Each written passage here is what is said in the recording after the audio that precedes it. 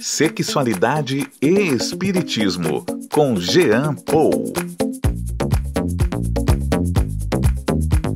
Oi, oi, galera! Sou Jean Paul, criador do perfil Um Gay Espírita nas redes sociais, e esse é o Sexualidade e Espiritismo. Dando continuidade às nossas reflexões acerca do livro Vida e Sexo, psicografado por Chico Xavier e ditado pelo espírito Emmanuel, a gente vai entrar hoje no capítulo 4, intitulado Ambiente Doméstico, em que Emmanuel vai fazer uma reflexão acerca do que está escrito lá no Evangelho segundo o Espiritismo, no item 11, capítulo 5. Frequentemente, o espírito renasce no mesmo meio em que já viveu, estabelecendo de novo relações com as mesmas pessoas, a fim de reparar o mal que lhes haja feito. Se reconhecesse nelas as a quem odiara, que o ódio se lhe despertaria outra vez no íntimo. De todo modo, ele se sentiria humilhado em presença daquelas a quem houvesse ofendido. Bom, aqui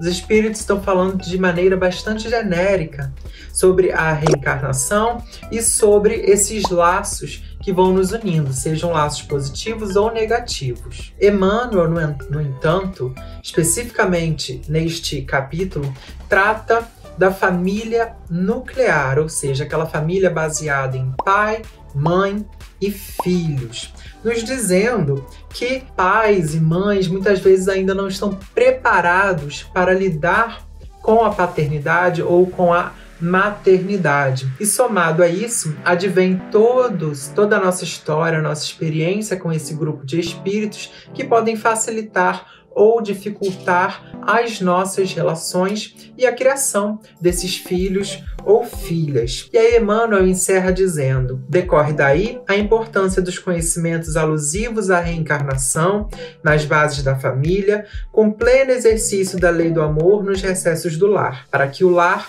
não se converta de bendita escola que é, em pouso neurótico, albergando moléstias mentais dificilmente reversíveis. É preciso, então, que qualquer que seja o nosso agrupamento familiar, seja ele baseado nesse conceito de família nuclear, ou seja ele um agrupamento diferente desse imposto ou considerado o padrão, é preciso que a gente conviva nessas bases familiares, conviva né, dentro dessas relações, sempre nos baseando na lei de amor, de tolerância, de compreensão, da justiça, amor e caridade, para que não venhamos a repetir os mesmos erros do passado, para que a gente reate esses laços que ficaram perdidos aí no nosso passado.